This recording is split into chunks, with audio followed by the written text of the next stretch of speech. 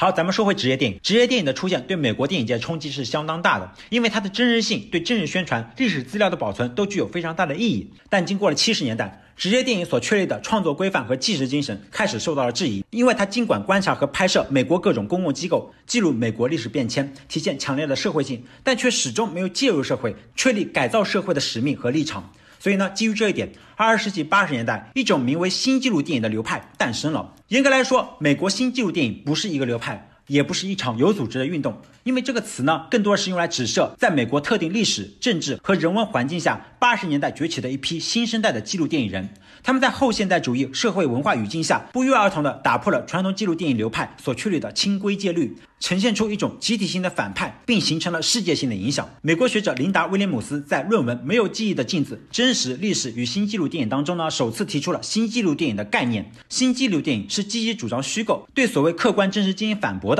具有后现代主义色彩的纪录电影。它可以，而且应该采取一切虚构手段与策略，以揭露真实。可见，美国新纪录电影并不排斥纪录片也要讲故事这一理念。相比职业电影，新纪录电影开始更多的把目光聚焦在一些社会话题、政治事件上，通过观察，更多的彰显介入社会、改造社会的使命和立场。因此，强烈的社会批判性就是新纪录电影最大的特征。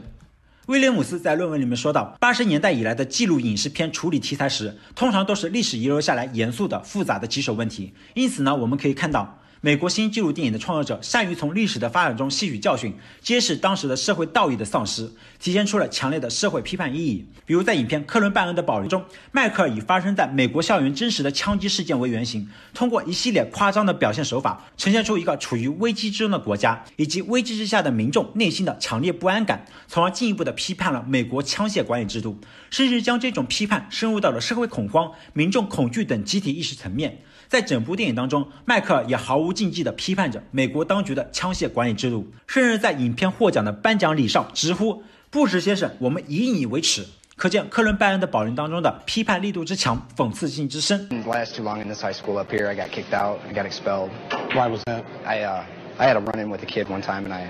再比如，莱兹曼花了十一年拍摄的长纪录片《证词：犹太人的屠杀》，长达九个半小时。为了拍摄这部影片，导演以阿尔翠纳战对犹太人大屠杀为背景，寻访了当年事件发生地，访问经历者，包括幸存的犹太人及纳粹分子。影片一经上映，就被誉为世界纪录片史上的最重大的事件，目的在于提醒人们避免历史的悲剧重演。再比如，美国导演艾洛尔·莫里斯，他借助影片《细细的蓝线》向直接电影叫板，认为主观化真相具有不可靠性。影片讲述的是一起高速公路警察遇害事件，记录方式遵循了真实的案件发展过程，通过采访与案件相关的各方人士，探究事件的真相，最终使得被错判的蓝道得以洗脱罪名。莫里斯成功证实了他的冤屈，并借片中一位公诉员之口点明了，警察是区分一个民主社会与集权的细细的蓝线，是衡量整个社会是否安全健康的标尺。好，接下来呢，我们再看新纪录电影的摄影技法。正如同威廉姆斯在论文里面阐释的那样，纪录片不是故事片，也不应该混同于故事片。但是呢，纪录片可以，而且应该采取一切虚构手段与策略，揭示真实。什么意思呢？关于这一点呢，我们也可以用新纪录电影的另外一个特征，就是自我反射来解释。意思呢，就是导演不用再像职业电影一样隐身在摄影机身后。而是应该迫不及待地走到镜头前面，甚至直接参与真实事件之中，成为真实叙事的一部分。啥意思呢？比如我拍一部关于帝王蟹的纪录片，为了说明我的帝王蟹非常的好吃，我就自己在镜头前面大口大口的吃，给大家演示这东西有多么的好吃，多么的香。我本人来参与进叙事之中，为大家来探索大千世界的神秘。我们来举一些电影的例子，比如摩根斯普尔洛克在《骑马的我》里面。更是自导自演了一场为期三十天的吃麦当劳的实验，以现身说法的方式证明快餐对健康的破坏。Supersize me。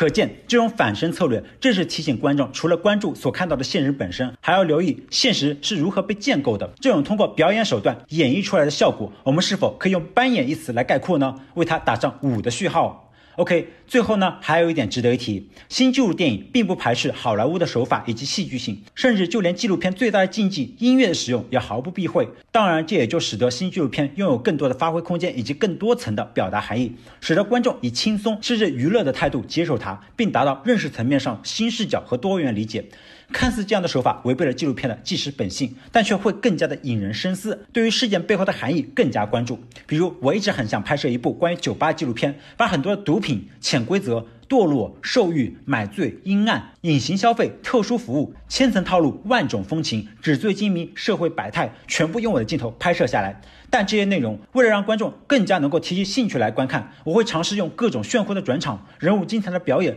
多线交叉的叙事以及各种蒙太奇技巧进行剪辑，呈现出来的，即便是一部充满社会性的酒吧纪录片，却一点都不枯燥乏味，反而让你看得津津有味。举个例子，作为二十世纪七八十年代西方新纪录电影的代表作。影片细细的蓝线通过不同人物对案件发生的情形不同角度的叙述，显示出高度风格化的叙事策略，将采访、扮演等纪录片传统手法融进精致的、风格华丽的、具有悬疑色彩的故事片影像结构当中。同时，令人眼花缭乱的素材拼接、蒙太奇策略等剪辑手段，也展现出影片背后作者意识深入性和主导性。在这部充满表现主义的风格影片当中，运用了情景再现的方式，还原各方当事人口述的罪案现场，并配以充满表现力的音乐，打造出悬疑电影般的观赏效果。这一个 You know, if I do something bad, you know, I, you know, it kind of gets me. I feel, you know, shucks, you know, I shouldn't have done that. And I was supposed to go and find out if the man remembered him coming in. It's crazy. It's crazy. She went through two weeks internal affairs. When she comes out, her testimony changed. He was one of these kind that he didn't like getting involved in nothing. For enough money, he would testify. think he was up to the time. Uh, the reason, if you do show emotion, um, the jury might take it that you're favoring one side or another. OK，最后呢，我们综合评价一下新纪录电影吧。不论是格里尔逊提出的纪录片是对现实的创造性处理，还是让鲁什追求现场直接参与以激发心灵的真实。更不用说德鲁小组在开启现实场景当中呈现和捕捉自然流动的真实，他们都没有跳脱传统电影语境下摄影影像本体的现实神话，真实的结构和原则仍然是以保证影像呈现是真实发生的现实景象为前提的。与他们相比较下，新纪录电影虽然没有较为统一的创作纲领、鲜明的艺术主张或宣言、具体的导演名单、明确的美学主张、统一的创作方法，也没有具体的社会范围或明确效忠的意识形态。甚至在产生的时间和名称上都有所争议，但是呢，正是因为诸多的不可知，使我们发现了它的可知，即多方融合，取长补短。OK，整节课的讲解差不多就到这里了。我们从二十年代的四大纪录片大师到战后纪录片的多元融合，电影的纪实属性得以不断的延续，一直到今天，纪录片这个词也因其特殊的魅力经久不衰。我个人最爱看的纪录电影呢，是美国二零一八年上映的《徒手攀岩》。整个观影过程当中，紧张、揪心、手心冒汗，在不干扰记录对象的情况下，主人公眼睛里面透出的执着和冒险精神，透过屏幕深深的震撼着我。这个时候，若非纪录电影的形式，又怎能承载如此真实的浪漫呢？那么，小伙伴们，你们最喜欢的纪录片又是哪一部呢？